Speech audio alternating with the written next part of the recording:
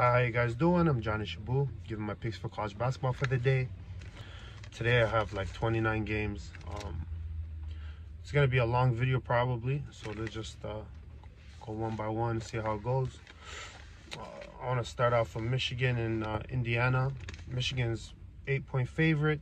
They're 17 and one in the season, 12 and one in conference.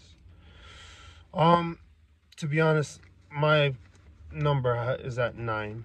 I feel like Michigan State, Michigan's gonna win by nine points today. It's above the eight point spread, so I'm taking it. Uh, they're eight and two in the series against each other. Um, it's no match right now. Indy's on a two-game losing streak. Uh, four and six in their last ten.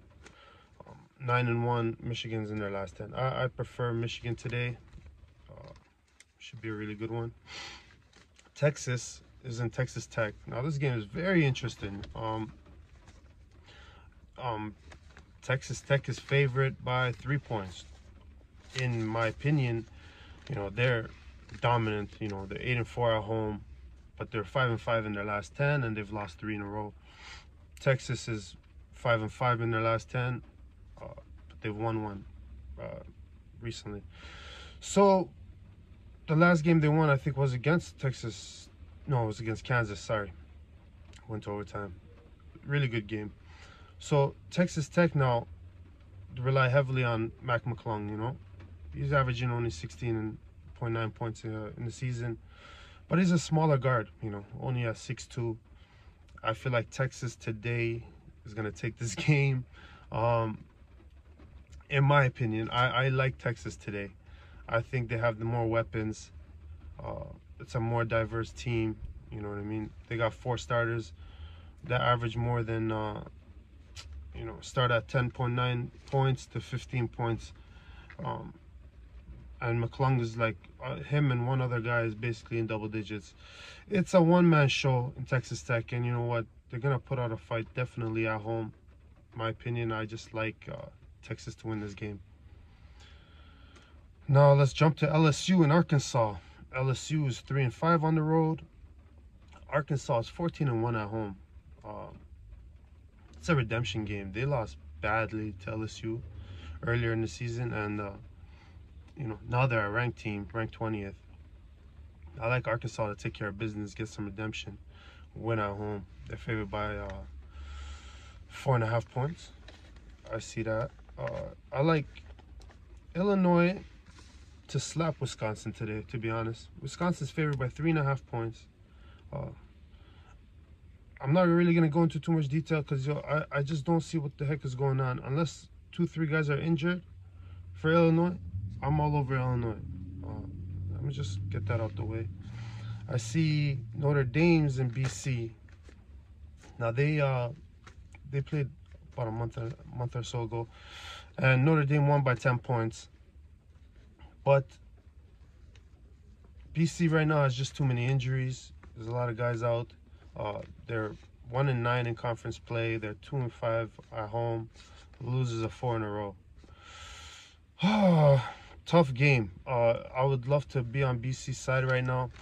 Um, the only thing is, their most notable uh, game this year is, is a one-point loss to Duke. So I mean, I really like Notre Dame to take care of business on the road. They're six point favorites. Uh, makes sense to me. Mind you, Notre Dame's also losers of two and six and four in the last 10, I think. So uh, it should be an interesting game. The last time they faced against each other, it was a 10 point spread. And if I remember correctly, Notre Dame had like a 10 point lead at half. And BC kept it close second half. They both scored like 38 uh, pretty evenly matched, evenly rebounds. Uh, they didn't turn the ball over too much. Didn't get to the free throw line much, but also Notre Dame didn't complete their free throws either. I think they only shot four for 10. So I think they can take care of business. They're, they're on a different path right now. I'll take Notre Dame. Washington is in Arizona. Washington's 3 and 7 uh, against Arizona. Basically, Arizona won the last time out by 27 points. This is Washington's third game on the road. Um, Washington's two and eight in their last 10. Arizona's only five and five, but they're winners of two in a row. coming home, they're at 11 and 4 at home. And Washington's 1 and 8 on the road. But the spread is a little too high, maybe. 15 point favorite for Arizona. Um, in my opinion, I think Arizona take care of business. Um, Washington has to be tired with all these games on the road, be honest with you. The last game, uh, I think Arizona beat Washington State by uh, 16 points. Before that, they beat USC.